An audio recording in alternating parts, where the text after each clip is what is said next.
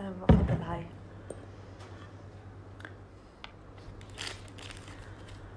والله ما محتار بس قبل شوي أكلت وحدة. هلا بدي أكل كمان وحدة. طب هاي ولا لك بتركها بالليل. هلا أنا هدول التنتين هلا هدول بتسلى عليهم. وأنا إيش وراي غير الأكل أصلا؟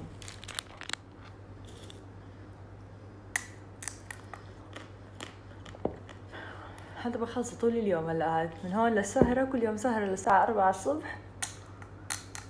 باكل بزر طب اليوم إيش بدي أطبخ اليوم؟ المفروض اتصلت الزوجة قال شو نطبخ اليوم؟ طب شو بدنا نتعشى اليوم؟ إفطارنا خلصت وجبة الافطار طب شو بدنا نتعشى؟ شو بدنا نتغدى اليوم؟ أكل أكل أكل أكل طب هي أنا اليوم هلا هذا هذا هلا هلا بخلصه طب دور الفاكهة متى بده يجي؟ كله candy وشيبسات وبزر وعصير وكراميل و chocolates ومش عارفة إيش خلاص لازم أقوم أحضر بدي أروح اليوم بدي أروح أطبخ بامية خلاص. بالعشاء بروح بشوي لي شوية هيك كفتة نتسلى عليهم بالليل نتسلى ما إحنا. شو ورانا؟ من بداية الحظر وإحنا بس بناكل. إيش بدنا ناكل؟ إيش بدنا نتعشى؟ إيش بدنا نفطر؟ صرنا نفكر تاني يوم إيش بدنا ناكل. حياتنا من بداية الحظر المنزلي من بداية الكورونا وإحنا بس ما بنفكر إلا بالأكل. الميزان يا جماعة بطلنا نقرب عليه لأنه صار كل يوم كيلو نص كيلو 2 كيلو. بس هاي حياتنا والميزان خلص. ما بدنا نشوفه. هلا أنتم لاحظتوا حالكم إنكم كل شوي رايحين على الثلاجه بتفتحوا بالثلاجه شو بدنا ناكل؟ شو بدنا ناكل؟ إيش في في الثلاجه من غير توقف. هون يمكن أنا أحكي لكم إنه ما في داعي إنكم تقلقوا لأنه هاد ردة فعل طبيعي للجسم لحتى مقاومة القلق والإحباط والتوتر اللي إحنا فيه بسبب الكورونا. هذا بنسميه اضطراب الأكل العاطفي وكل هذا بسبب الكورونا والقلق الناتج منه. يمكن المصطلح اللي ذكرته أنا قبل شوي في ناس كتير ما سمعوه هو مصطلح الأكل العاطفي. الأكل العاطفي هو عبارة نوع من أنواع الاضطرابات النفسية اللي بتنعكس على العادات الغذائية. سواء كانت الزيادة بشكل كتير كبير بالرغبة بتناول الأكل أو الامتناع عن الأكل بشكل قاسي جدا عن الأكل لفترات طويلة. للأسف إنه إحنا هلأ المشكلة اللي منتشرة في جميع أنحاء العالم واللي عم بيشكل الأخصائيين التغذية الانتشار الواسع بزيادة الرغبة بتناول الأكل والمشكلة المرتبطة بمشكلة زيادة الوزن. يعني هلأ المشكلة مش الامتناع عن الأكل مشكلة الأكل العاطفي في هاي الفترة بالزيادة الأكل وبزيادة الوزن بشكل كتير كبير. فهذا الشعور اللي إحنا عم نشعره الحين إنه دائما بناكل بناكل بناكل 24 ساعة وبالأخص في الآونة الأخيرة ذلك بيرتبط كله بالإحباط والقلق والتوتر اللي إحنا عم نعيشهم بسبب فيروس كورونا. إذ أن المخ بيفرز مواد آه، كيميائية مادة كيميائية تخفض النواقل العصبية المرتبطة بهرمون السعادة مثل الدوبامين والسيروتونين. فلذلك إحنا أغلبنا أو كلنا بنلجا للأكل لنعوض السعادة اللي عم إحنا بنفقدها. فطبيعي مش غريب إنه جميع الأشخاص اللي كانوا يمارسوا جميع الأنشطة اليومية بشكل يومي توقفت بشكل مفاجئ لسلوك بشعورهم بالرضا لو بشكل مؤقت فهم بيلجأوا إلى الأكل. فالقلق بدفع المخ لإفراز الكورتيزول الذي يشعرك بالجوع الزائف مما يؤدي لتخزين الدهون. مثل ما ذكرت لكم إنه القلق بدفع المخ لإفراز هرمون الكورتيزول الذي بيشعرك بالجوع الزائف مما يؤدي إلى كل تراكم تتراكم الدهون بمنطقة البطن. لكن في نقطة بدي أوضح لكم إياها. لحتى تفرقوا بين الجوع الجسدي الحقيقي والجوع العاطفي هناك في ثلاث مؤشرات للتفرقة بين الجوع آه، الجسم آه، بحاجته للأكل وبين الجوع العاطفي أو الجوع الزائف.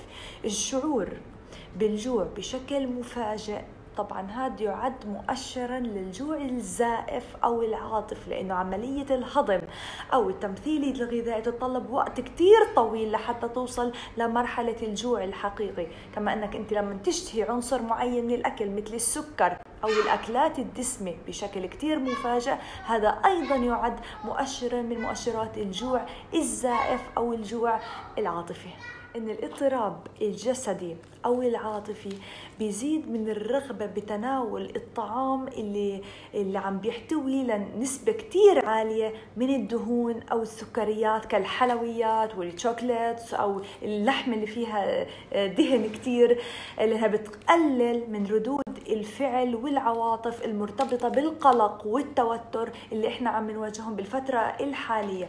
هاي الأطعمة اللي إحنا عم ناكلها بتسمى الأطعمة المريحة الأطعمة اللي بتريح نفسيتنا لأنها بتحد وبتقلل من الإجهاد والتوتر. لكن أخصائيين التغذية بحذروا بحذروا بحذروا من الأكل العاطفي الأكل اللي إحنا عم آه، بناكله بشكل كتير شره في هاي الفترة إلى إدمان وصعب إنه إحنا نسيطر عليه. مؤشر إنه اللي إحنا اللي عم نواجهه حاليا مش حالة مرضية هو اضطراب سلوكي مؤقت. لكن المشكلة إذا امتدت أعراضه وأصبح ملازم للإنسان لفترة كتير طويلة هاد هون مؤشر بدعو للقلق من احتمالية تحوله إلى مرض نفسي وعضوي وهاي بهاي الحالة تدخل للمرحلة العلاجية. فنصيحتي أنتم من هلأ ابدأوا سيطروا على نفسكم لحتى ترجعوا لحياتكم طبيعية وترجعوا توازنوا في أكلكم خلال اليوم. لكن إيش النصيحة يا رشا؟ لحتى نعدل من هذا السلوك اضطراب الأكل العاطفي المؤقت اللي عم نواجههم.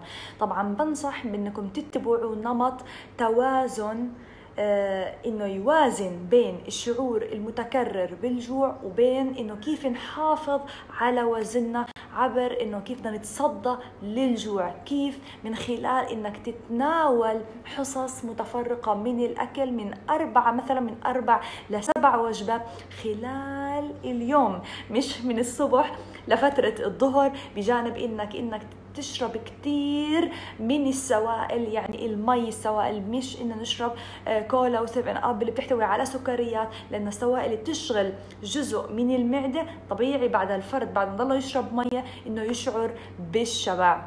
بالإضافة لانك إنه كثره السوائل بترطب الجسم لتحد من نسبة التوتر والقلق.